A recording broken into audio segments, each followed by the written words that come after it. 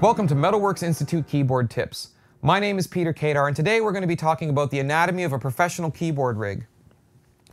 So in this first installment, without getting too brand specific, I want to talk about the kinds of keyboards I have here, why I've got two of them, what their functions are, and uh, yeah, let's get into it. So this bottom keyboard is what we call a workstation. So it allows you to do all kinds of stuff in one environment.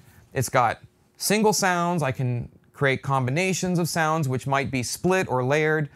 I can have sequences running, I can sample with it and play back samples, I could stream audio off of the hard drive, and I've got a ton of different synthesis engines that all sound great, so it allows me to do all kinds of stuff, and if I need to do something that's very simple or something that's really complicated, I can accomplish it with this board.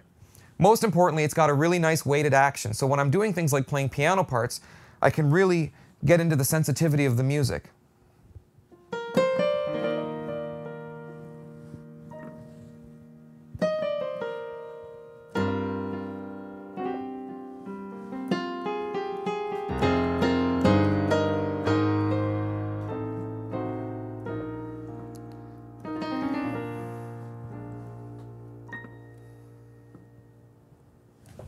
Yeah.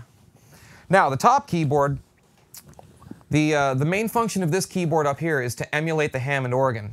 It has a bunch of really great electromechanical sounds like Rhodes and Wurlitzer and clavinet, but because the action is very similar to a Hammond organ, it's got the waterfall keys and a very light action, it's really great for playing Hammond parts.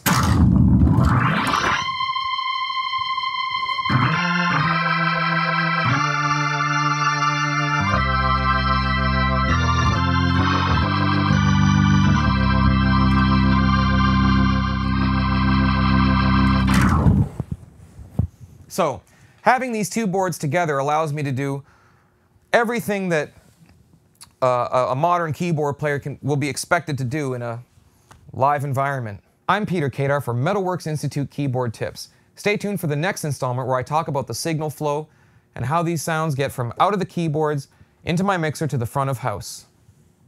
See you next time.